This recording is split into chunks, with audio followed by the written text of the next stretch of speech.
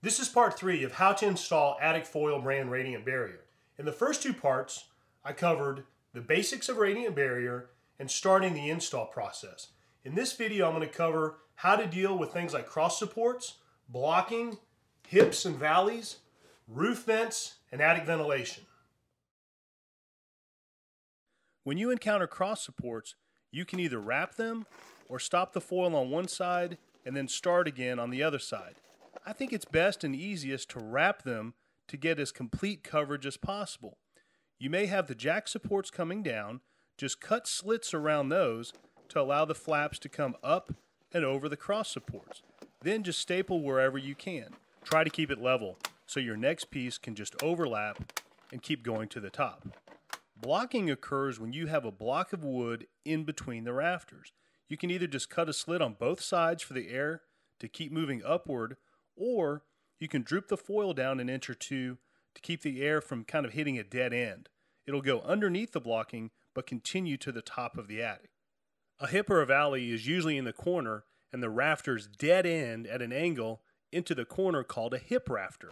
Here's a trick to get a perfect fit into a hip. Run the foil across like you're doing a normal install and then wrap it around the corner and extend the foil like five or eight feet, a couple of rafters past the corner. Then what you want to do is cut the foil straight down and use that hip rafter kind of as a cutting board. Then you're going to have a piece off to one side. Flip it over. Now that angle should line up perfectly to where you just cut. Then staple it a couple of rafters off to one side. And if you need to keep going, just start a new piece and go all the way down to your next stopping point. Now, where the hip rafters come into the corner rafter, you'll need to either cut a small hole or a slit. You want air to be able to slide out of there and continue onto the roof. Basically, you don't want to create a dead end. What should you do about gable ends? Gable ends are the flat ends on some roofs or some attics. Now, there's generally two types of roof styles. There's what's called the hip style, which is basically a pyramid or four slopes with the top cut off, or there's what's called a gable style. Gable style is more of a barn style. Generally, you've got two slopes and then the flat ends on either end. The rule is if a gable end catches sun, you want to put foil on the attic side of that gable wall. As far as the heat, gables are just part of the roof except in a vertical position. What you're going to do is simply run attic foil across the face of the studs inside that gable wall, leave a gap at the top and the bottom so that air can flow freely behind that wall.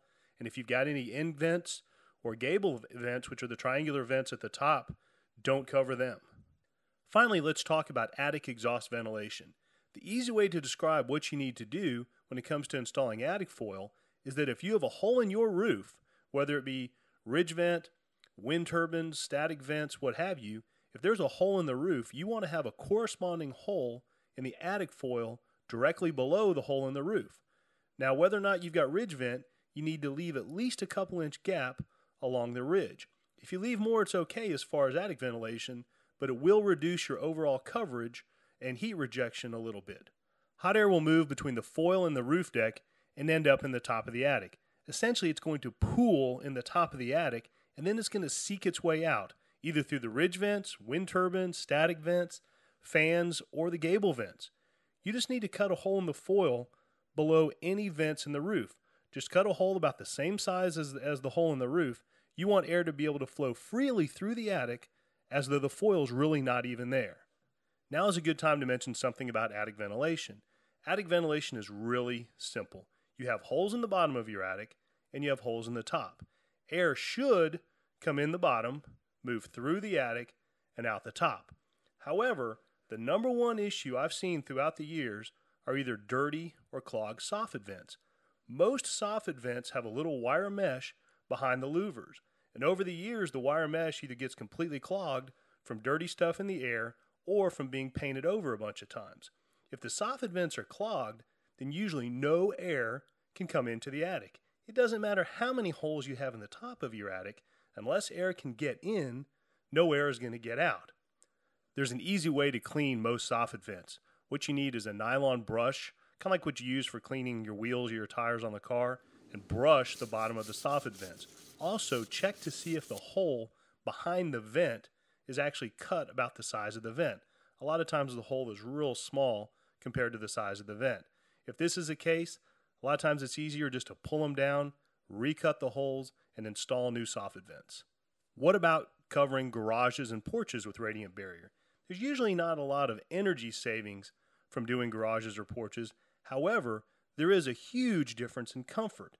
You'll actually notice the benefit of a radiant barrier more uh, underneath a non air conditioned space. Porches and garages will feel like a big tree just landed over the roof. If comfort is important, then definitely you want to cover both the garages and the porches. I hope you enjoyed this video and you've learned everything you need to know to get up in your attic and install Attic Foil brand radiant barrier. We have tens of thousands of customers who have already installed Attic Foil and who are experiencing a more comfortable and energy efficient home. And remember, at atticfoil.com, if you have any questions, we're always a phone call away. We have a staff that can help you with any technical questions or problems you may have. For more information, visit atticfoil.com, your complete online source for radiant barrier foil.